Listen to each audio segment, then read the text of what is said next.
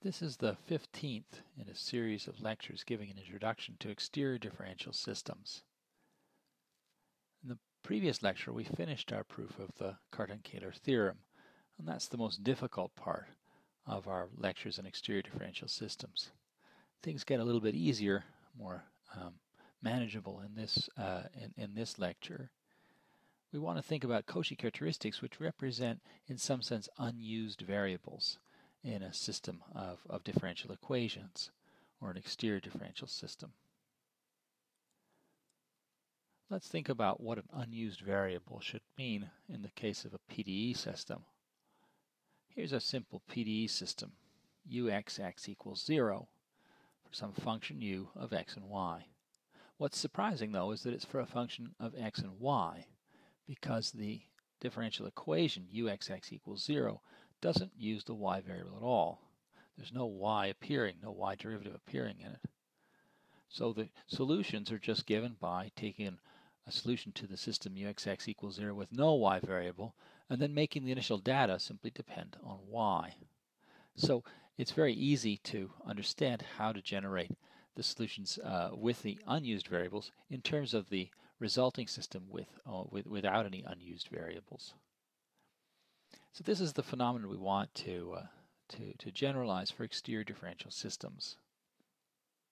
It's surprisingly often the case that there are unused variables when we work with exterior differential systems.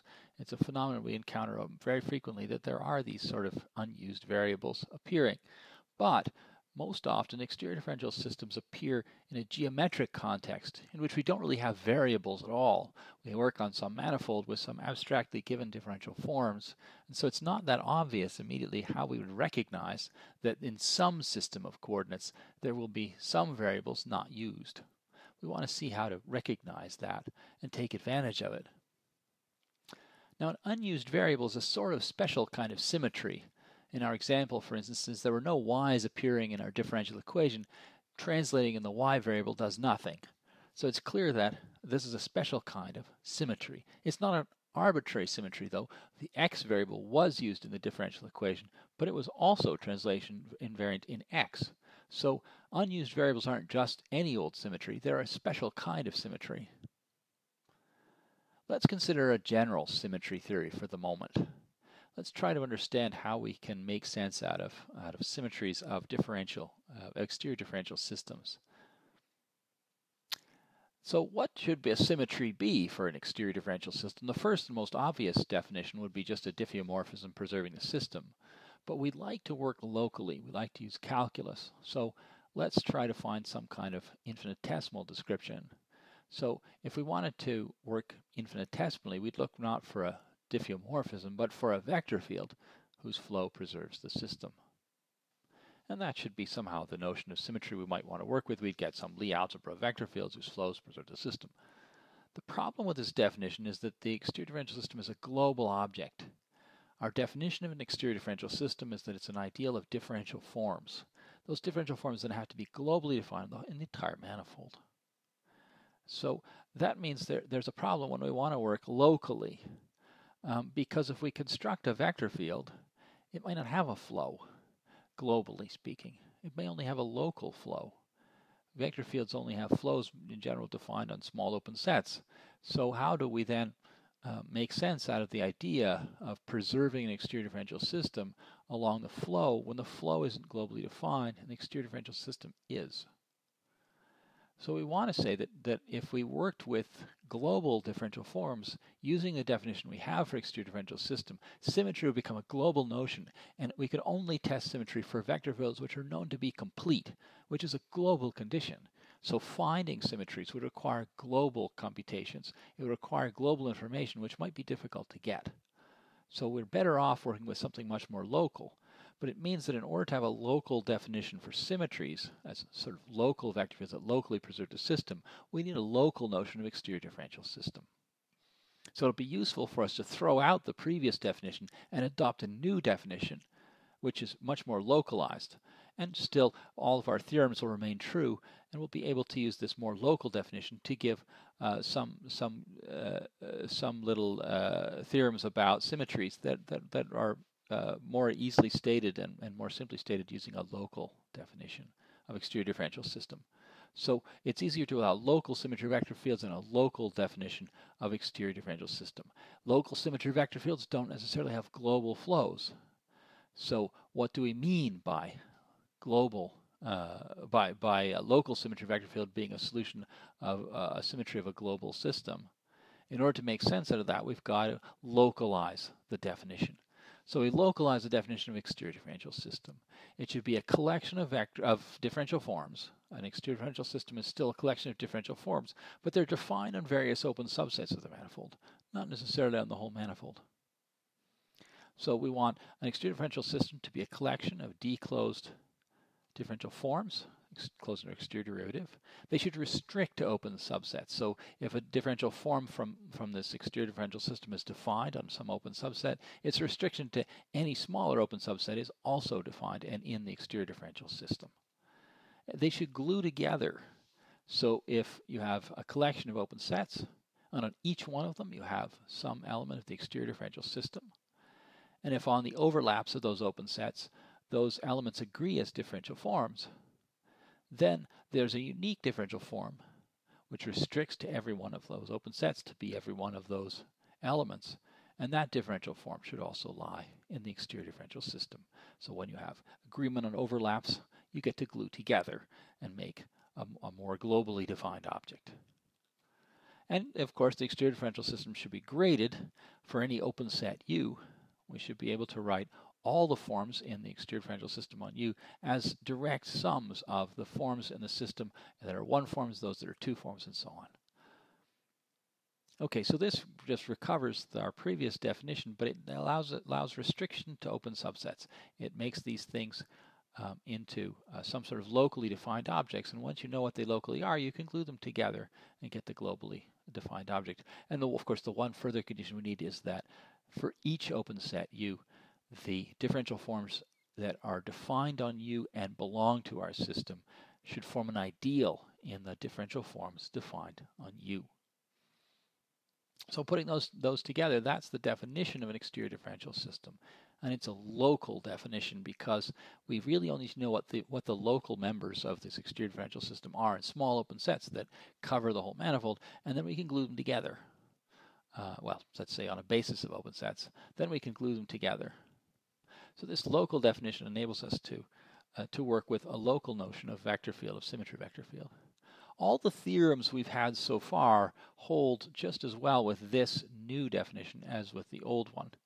So it's, it's actually just as convenient, a little bit more technical and we didn't really need it for any of the theorems we had so far, so we're only introducing it at this point, where it turns out to be convenient for thinking of not only about uh, the theory of symmetry vector fields, but for actually getting a few of the simple theorems about symmetry vector fields. So a symmetry vector field is just a vector field V whose locally defined flow preserves the exterior differential system. Um, and it could be a vector field defined in an open set if we like. Um, it doesn't have to be globally defined. So we now have a notion of symmetry vector field, and the symmetry vector fields form some, some collection of Lie algebras on the open sets of the manifold. Um, a symmetry uh, vector field, uh, a vector field is a symmetry vector field if and only if it satisfies this condition that uh, it's the Lie derivative uh, of the along the vector field uh, applied to all the forms in the system gives forms from the system. And again, that's proven in the lecture notes in detail. We don't want to spend a lot of time on the proofs of these results about symmetries, they're very straightforward. Um, a, a, an exterior differential system is said to have finite type if near each point of our manifold we have some generators which generate all the forms near that point. This is a subtle definition. Finite type is the same definition you find in, in other areas of mathematics where finite type is used. Um, so it's not the same as saying that that each um, each each collection of forms defined in an open set U is finitely generated. What it says is that you can, if you have a point, you can pick an open set U around that point. You can find generators in that open set U that generate all the forms in all the subsets of U, not just in U itself, but in all the subsets of U. So it, even in some much, much smaller open set, you're still able to use those same forms to generate. So it's a bit subtle. Okay, so finite type is the condition we're going to need. Again, it says that near each point, there are some generators so that in all the open subsets near, even smaller open subsets near that point, those generators still generate all the forms. All right, so we'll need that finite type condition, and then uh, a symmetry will just have the property that it will just be a vector field with a property that the Lie derivative on the generators gives linear combinations of generators. So that's how we can test for something being a symmetry when we have an exterior differential system of finite type. So for systems of, systems of finite type, you only need to check generators. For other systems, of course, it could be terrible. But for system, systems of finite type, we can check whether or not um, a vector field is a symmetry by asking whether the Lie derivative of the vector field applied to generators gives linear combinations of generators. Okay, so that's how we can test if something is a, is a symmetry using a sort of finite local test. Now, how do we decide if we have unused variables? Let's leave uh, the whole notion of symmetry in general and just think very specifically about the unused variables problem. A vector field is said to be a Cauchy characteristic vector field if when you hook it into the exterior differential system, you get vector you get differential forms from the exterior differential system. What does that hook mean? V hook I. So this hook sign here, that means we plug V in. So if we have a differential form, which is say a 3 form in our system here, I, we plug that vector field into the first slot in that 3 form, giving us a 2 form in I. That's what we're asking for here. We're asking for, uh, for vector fields which have the property that when you plug them in to the first entry in a differential form, leaving the other entries blank, you end up with a differential form which is still in the ideal I, in the system I. Okay, so that's what we'll call a Cauchy characteristic vector field. And I'll leave, leave you to check. Um, again, it's, uh, it's uh, an exercise in the notes carried out in the back that uh, that uh, this corresponds exactly to a symmetry, uh, or sorry, that this is a kind of symmetry, um, that every Cauchy characteristic vector field is uh, is a symmetry vector field, although the converse isn't true. There are symmetry vector fields that are not Cauchy characteristic, but every Cauchy characteristic vector field is a symmetry. Roughly speaking, these are the unused variables. And again, that will be dealt with in, in the notes in, in a, a complete proof. But here we'll just give some outline of the proof of why uh, we can quotient out by uh, those unused variables. Um, so let's be a little bit more precise. Suppose that the Cauchy characteristic vector fields uh, in, on, on our exterior on our manifold of our exterior differential system have constant rank. Um, and that's a technical hypothesis which we'll have to assume to get this to go. Um, so if they have constant rank, you can check that they then satisfy the conditions of the Frobenius theorem. Those Cauchy characteristic vector fields have orbits that are actually leaves of a foliation. The Cauchy characteristic vector fields will exactly be the vector fields which are tangent to the leaves of some foliation. And so every foliation is locally a fibration. Every foliation locally has a quotient space. So after we maybe we pick a point, we look at maybe some open, replace M by some open neighborhood around that point, then we can construct a quotient space. So M goes to some M bar quotient space so that the fibers of that map are exactly the leaves of that foliation. In other words, that two points are, are lying the same fiber of pi if and only if you can flow from one to the other by Cauchy characteristic vector fields. Okay, so uh, so then it turns out the exterior differential system drops. So again, I'm not proving any of this in these lectures. Uh, it's all proven in the lecture notes.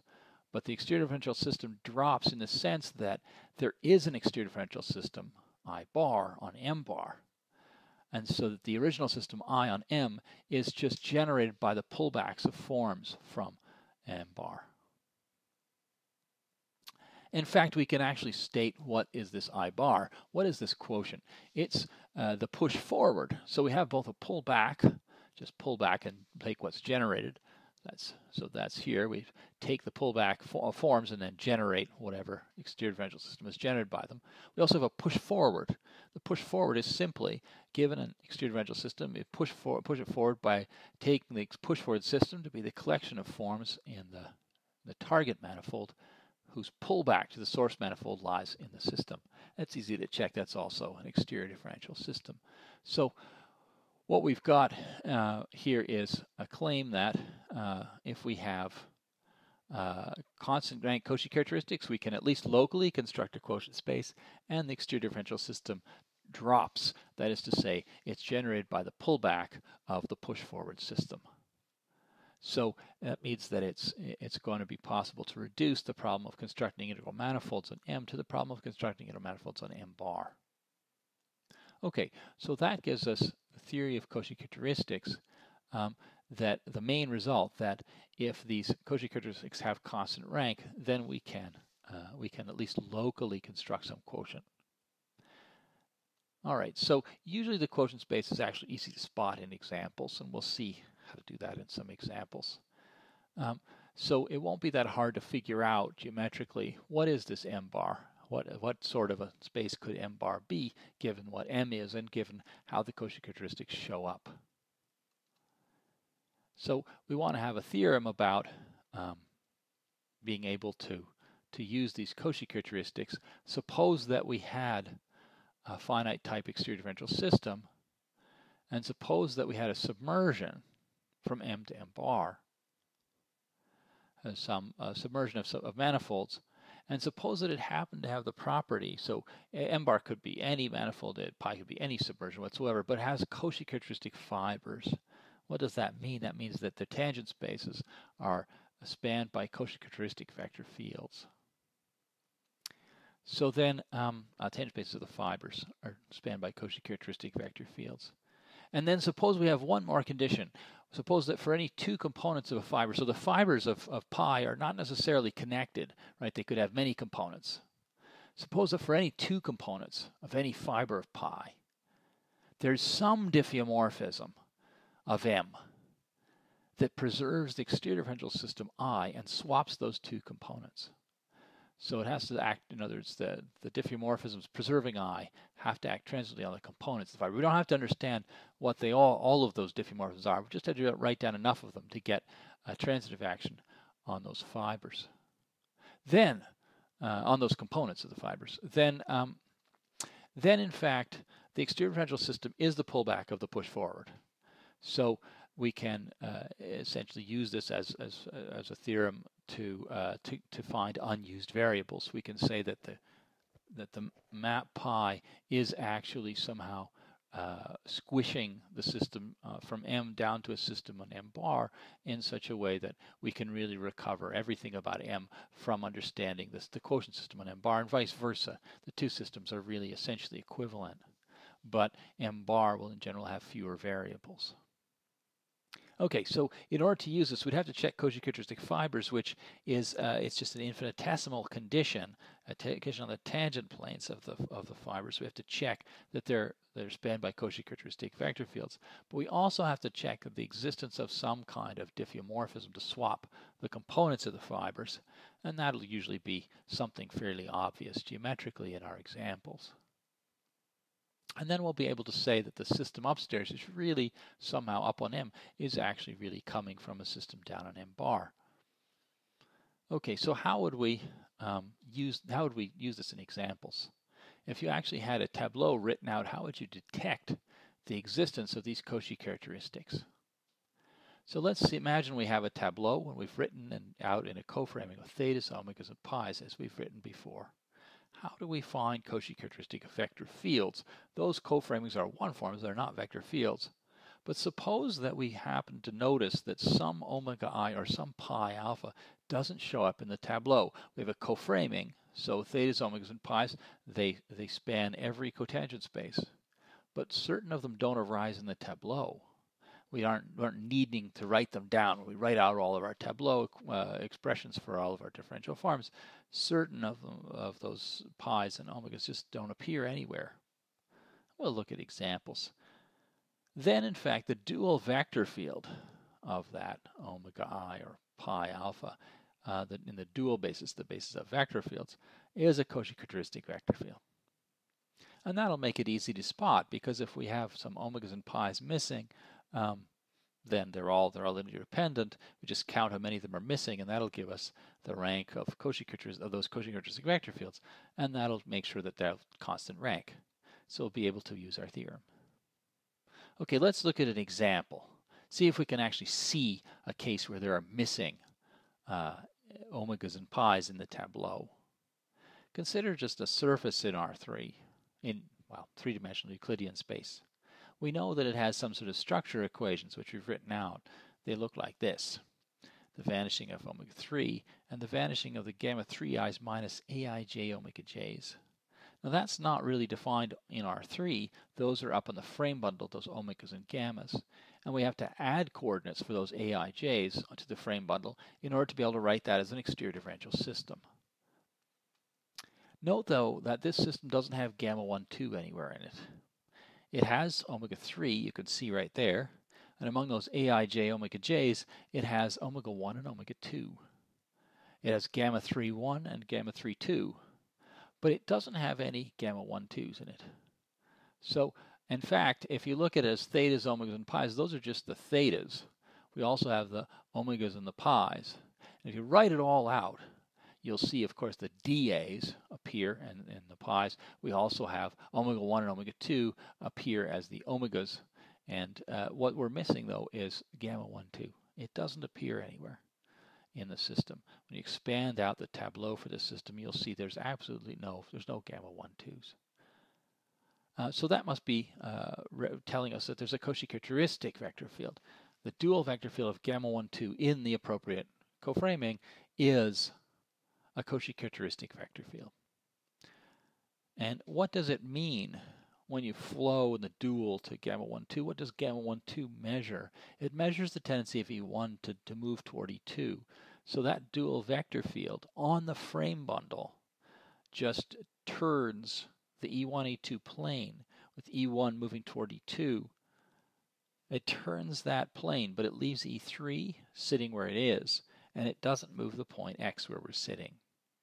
So it fixes the point. So at each point of the frame bundle, you fix the point where you're sitting, and you turn E1 in the direction of E2, E2 in the direction of minus E1, all around. You rotate that around, and you leave E3 fixed. That's a Cauchy characteristic vector field. So we should be able to quotient by it. But it's not the only thing we can find here. There's another symmetry of the system.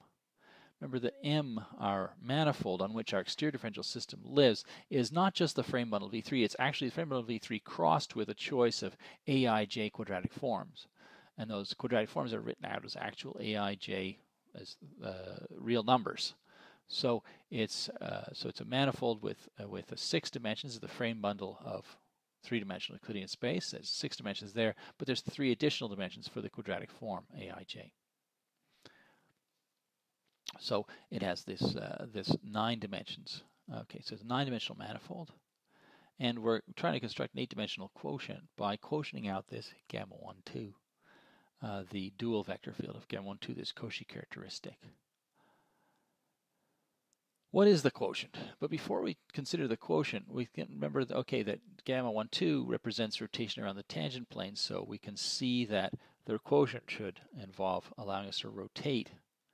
But um, we can also reflect. We have uh, one diffeomorphism, which is the reflection, that reflects E3 to minus E3. So if we're on the frame bundle M uh, with its quadratic form, so space of, of frames and quadratic forms, we can reflect E3 to minus E3. And if you then go back and look up here, if you reflect E3 to minus E3, you're going to change the sign here because that's a gamma 3 one. You're going to change a sign here, which is fine. It'll still be 0. But if you change a sign here in gamma 3 1, you're going to change, have to change a sign somewhere in here to make up for it. The omegas aren't going to change, so we'll change the a's. So that means we should reflect E3 to minus E3 and Aij to minus Aij, and then we'll preserve that exterior differential system. So that's a symmetry also of the exterior differential system. So we're going to quotient not just by rotations around the tangent plane, rotations in other words in the in the E1 E2 plane, we're also going to quotient by this one reflection operation, this one diffeomorphism, simultaneously quotienting out rotations uh, of E1 toward E2, E2 toward minus E1, and at the same time quotienting out by this reflection. We'll take our nine-dimensional manifold M and produce an eight-dimensional quotient, which will quotient out by this circle action of rotating E1 in, in, in the E1, E2 plane, but also at the same time this um, this uh, Z mod 2Z action of reflecting E3 and, ref and, and changing the signs of all of the shape operator entries. Okay, so that's going to be how we'll, we'll act on this manifold and to produce a, produce a quotient manifold. So what is that quotient then? It's pretty clear geometrically what it consists of. It's the collection of all pointed planes with a quadratic form valued in the normal line. Let's, let's think about how that works. Well, at each point of the frame bundle, we have a, a point x of the underlying Euclidean space. That doesn't move under this group action. And so there's still a point, and that's why I've got a pointed plane. The E1 and E2 rotate, the rot E1, E2 plane rotates around, but the plane itself still exists. It's still invariantly defined as a plane, and so that plane is part of the information in the quotient. When we look at that quadratic form Aij, we changed its sign when we changed the sign of E3. That means that if we multiply E3 by Aij, we don't change that. And so that's actually going to be, uh, be why we have a quadratic form valued not in numbers, but in the normal line. E3 uh, spans the normal line. And if we change E3 to minus E3, we're changing bases of the normal line, but we're also changing the sign of the quadratic form. And so we get a well-defined object valued in the normal line. And as we rotate E1, E2, we also change the values of the Aij coefficients so that the exterior differential system is invariant. And, and therefore, consequently, we obtain a quotient system which consists of the choice of pointed plane, so a plane with a marked point on it in Euclidean space, with, uh, which has a quadratic form valued on that plane, valued in the normal line to that plane. So that's how we can see what the quotient space is. And we might hope maybe to just write down the exterior differential system on the quotient space. Maybe we should work directly on m bar rather than on m because this m bar is some is lower dimensional and we have a system we know defined on it. We know that the system we wrote down actually quotients to this system. So we had a system that we wrote down on M which whose integral manifolds just consist of surfaces in, in, in Euclidean three-dimensional space. But we now have this quotient system. Maybe that's even better. Maybe we should work there. But it turns out there's no invariant forms on M bar because the forms we wrote down, the soldering forms, the connection forms, and so on, all those forms don't make sense anymore on M bar. They don't survive the quotienting process. The exterior differential system survives, but nothing in it survives. That is to say, it doesn't have invariantly defined generators anymore because the generators themselves don't have to survive the quotienting process. They may be transformed among one another in some non-trivial way by the by the group action. So in your quotient, there's not necessarily an actually well-defined invariant set of forms to write down. So that's why we like to work on M rather than M bar. We work on M where we have invariantly defined forms and we can calculate the um, the results of our Cartan-Kähler computation. We can calculate out integral elements and, and characters and so on using explicit invariantly defined forms, the soldering forms, the connection forms, and so on. We can't necessarily do that on the quotient space M bar. So that's why we don't like to work on M bar directly.